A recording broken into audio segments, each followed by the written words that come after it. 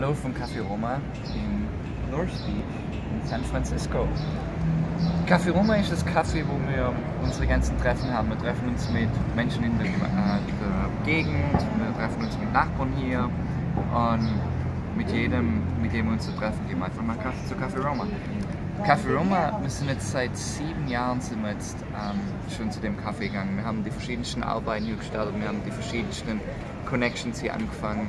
Ähm, das ist einfach ein super Platz, um Beziehungen aufzubauen. Und in der Zwischenzeit kennen wir so viele Leute in dem Café, wenn wir da reinlaufen ähm, und uns hinsetzen, wir finden jedes Mal jemanden, den wir kennen. Die Arbeiter, die im Café sind oder die Leute, die kommen. Und wie gesagt, wir nehmen auch Nachbarn manchmal mit und treffen uns anstatt bei uns in der Wohnung, treffen uns ähm, hier im Café und kommen ins Gespräch. Cafés und Bars und Restaurants sind oftmals echt gute Ansatzpunkte, wo sich Leute treffen können. Und zwar einfach. Oder wo du Verbindung mit Menschen aus deinem Wohngebiet aufbauen kannst. Weil liebe deinen Nächsten oder liebe deinen Nachbarn zählt nicht nur der Nachbar direkt nebenan, sondern auch deine Wohngegend, also Menschen, die bei dir wohnen. Ähm, und das ist auch sehr wichtig, dass man damit Verbindung aufbaut.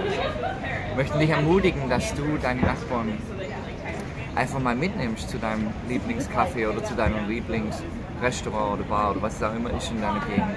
Weil wenn du an Jesus denkst, wo hat er seine Leute getroffen? Er hat sie getroffen, wo sie sich natürlich treffen würden. Er ging beim ähm, Steuereintreiber ging nach Hause.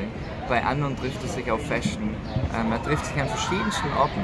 Aber er trifft sich immer, wo die Leute automatisch oder wo sich die Leute automatisch treffen, richtig?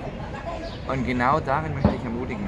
Feinde, finde den Ort ähm, oder den Treffpunkt in deiner Wohngegend oder in deinem Gebiet, wo sich Leute schon treffen.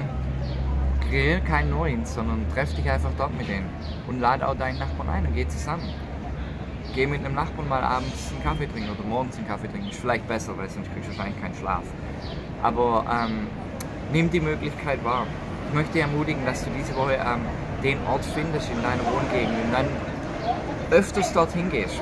Vielleicht ist es auch nur eine Bäckerei, wo man Kaffee trinken kann. Oder vielleicht ist was Kleines, spielt keine Rolle. Ähm, vielleicht sieht es in Deutschland auch ganz anders aus. Ich weiß nicht, wo man sich da gerade trifft, was da gerade so in ist. Aber find den Ort und du machst einen großen Unterschied.